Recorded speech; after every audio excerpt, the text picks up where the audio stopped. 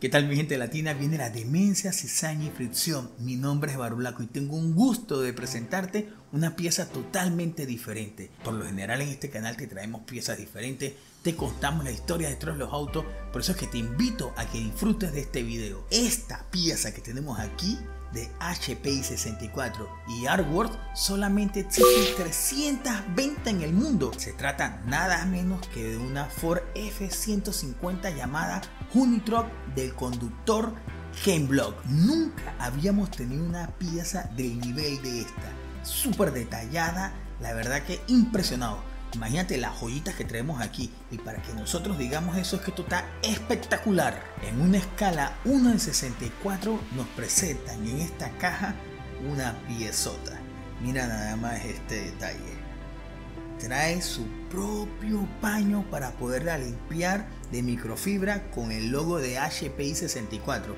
Mira el detalle. Si en el video pasado lo que escuchamos fue querubines, cuando abrimos esta caja lo que escuchamos es pura potencia y llantas quemando. Mira eso.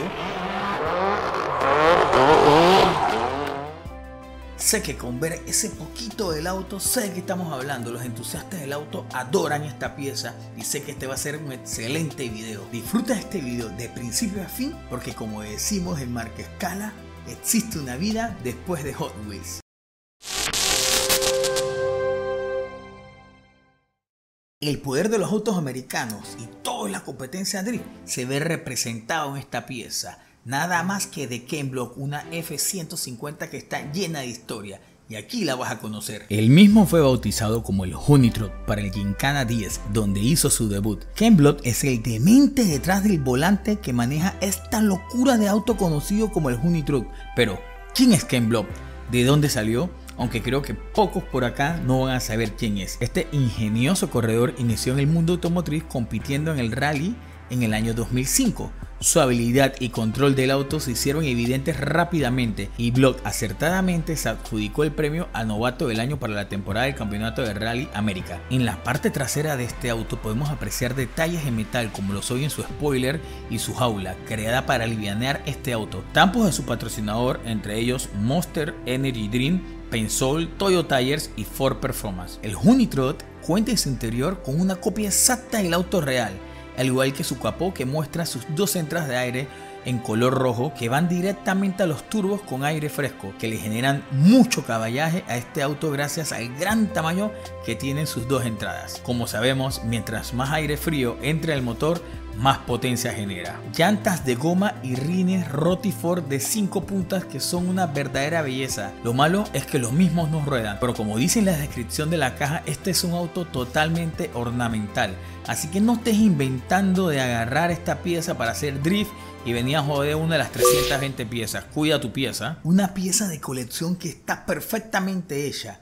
Te cuento que en la parte trasera trae lo que es su depósito de combustible, trae lo que son su radiador y abanicos, una verdadera locura. Y dirás, ¿radiador en la parte trasera? Sí, brother, imagínate que este carro tiene tanta potencia que cuando es transmitida sus llantas traseras hay que enfriarlas para que no se enciendan en llamas y sus frenos de disco tampoco. Una verdadera locura, ¿verdad? Esta máquina cuenta con 914 caballos de fuerza y para ser a salida de la película Mad Max tiene un extra valor sentimental, ya que en una camioneta como esta, pero de serie, obviamente, aprendió a conducir el piloto norteamericano tras heredarlo de su fallecido padre. ¿Qué mejor manera de rendir tributo a su primer coche que convertirlo en un modelo de Ken Block, equipado con un motor EcoBoost de 3.5 litros y 6 cilindros en V con dos gigantescos turbos, los cuales pueden verse por encima del capó. Este auto viene totalmente detallado, todo su video kit es igual al original,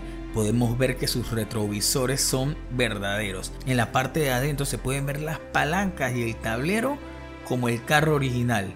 La defensa delantera, con todos sus logos, su parrilla. Podemos ver hasta sus faros. Podemos ver que sus faros traen la X. Esos takes que se les pone en caso que se rompa el faro para que no desprenda los vidrios y poder seguir iluminando, que se usan mucho en el rally. En la parte inferior de su spoiler también podemos ver el logo de Hoonigan. Detallito que la parte de abajo mmm, deja mucho que pedir, no viene detallada, solamente ciertas partes. Me hubiera gustado que hubiera más detallada, pero bueno, no todo puede ser perfecto. En el techo del auto, en la parte de arriba, se puede ver el número 43 que representa a esta belleza de pieza, belleza de auto.